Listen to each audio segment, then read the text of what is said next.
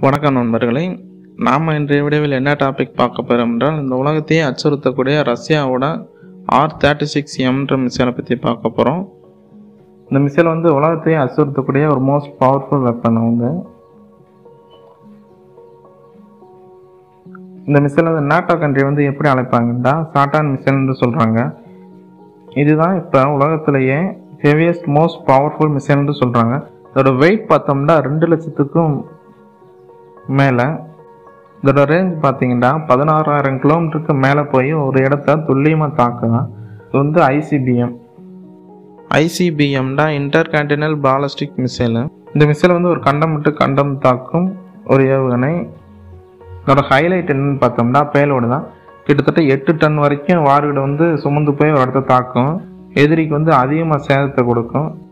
Next highlight என்னன்னு பார்த்தோம்னா அது வந்து பத்து எம்ஐஆர்வி இருக்கு. இது வந்து எதுக்குன்னா டிஃப்ரெண்ட் டார்கெட் வந்து அடிக்கிறதுக்காண்டி. எம்ஐஆர்வி இருந்துச்சுன்னா இந்த மிசைலை வந்து ரேடார்னால ஈஸியாக டிடெக்ட் பண்ண முடியாது. இந்த மிசைலை வந்து எஸ்எஸ் எயிட்டின்னு சொல்கிறாங்க இதோட டேமேஜ் ஏரியா ரேடியஸில் பார்த்தோம்னா நாலு கிலோமீட்டர் வரைக்கும் தாக்குமா.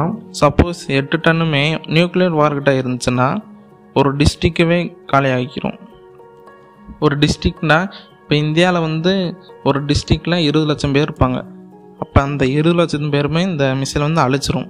இதனால தான் இந்த மிசைலை வந்து ரொம்ப டேஞ்சரஸ் மிசைல்னு இந்த உலகத்துலேயே சொல்கிறாங்க நன்றி நண்பர்களே இந்த வீடியோ பிடிச்சிருந்துச்சுன்னா லைக் பண்ணுங்கள் ஷேர் பண்ணுங்கள் மறக்காமல் கமெண்ட் பண்ணுங்கள் உங்கள் ஃப்ரெண்ட்ஸுக்கும் ஷேர் பண்ணுங்கள்